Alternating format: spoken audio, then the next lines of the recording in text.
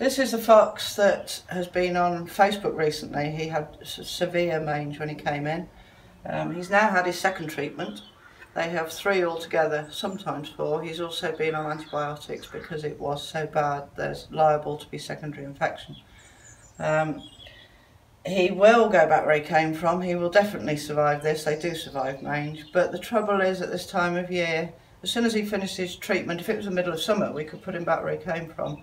But because it's so cold at this time of year and there's going to be so much fur loss, we have to wait until the fur's grown back enough to keep him at least moderately warm until the weather gets warmer. Um, but he's doing well and making good progress. We've got two more foxes in at the moment. Um, the one has already had a hind leg amputated.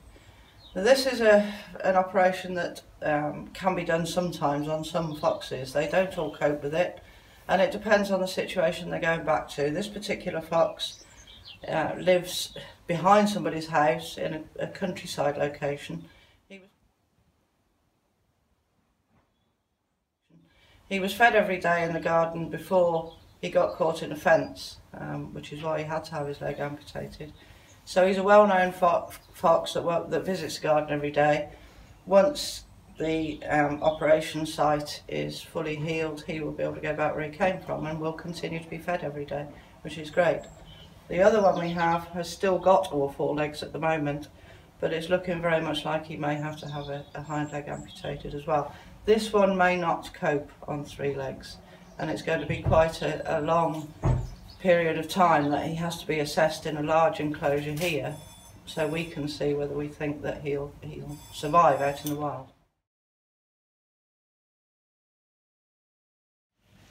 Right, we've got a badger in here at the moment, he's just come in. Um, Martin went out and picked him up. He was actually seen at half past one this morning in a, in a pub car park. Um, and the chap went home, went back this morning, badger was still there, so he called us. Um, in actual fact, we have got emergency call-out line for 24-7 uh, for large mammal casualties, so we can be run in the middle of the night for a fox, badger, deer. This one um, is just being x-rayed at the moment there's possibly a problem with his spine as he was dragging both back legs when he was found. So it doesn't look very good, but we'll see what the x-rays show.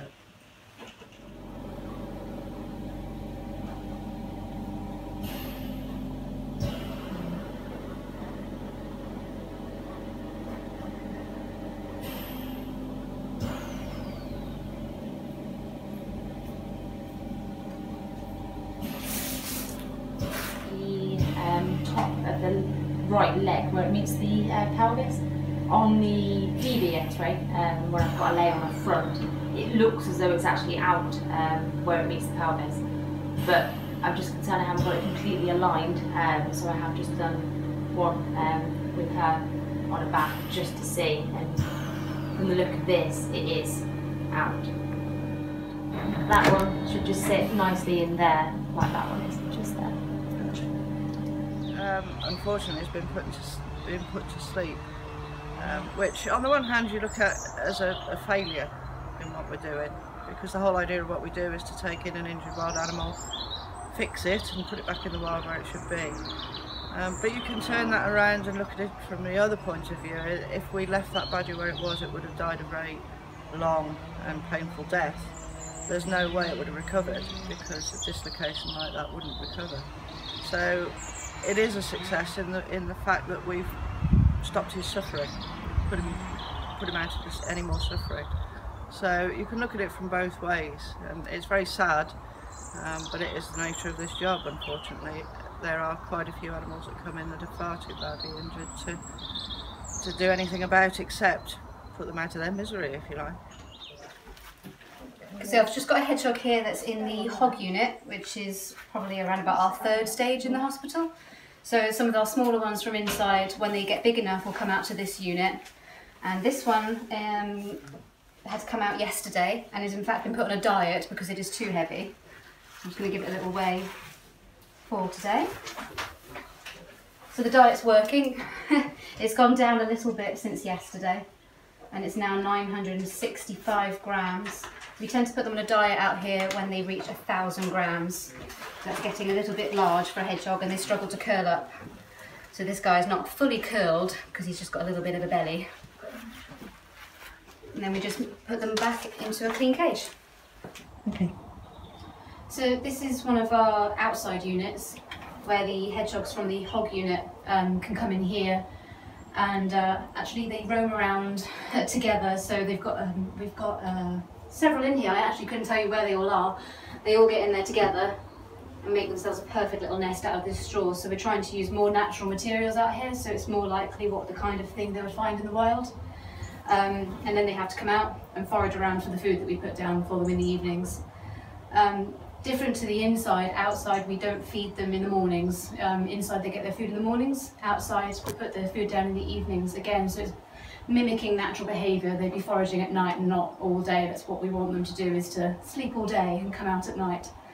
Um, and then hopefully from here they'd be ready to go for release. This is a little muntjac. That's what my old muntjac came into us almost four weeks ago now. Uh, it's about half the weight he is now.